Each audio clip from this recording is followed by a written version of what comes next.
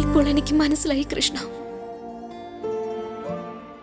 നീ ചെയ്യുന്നതെല്ലാമാണ് യഥാർത്ഥ പ്രണയം.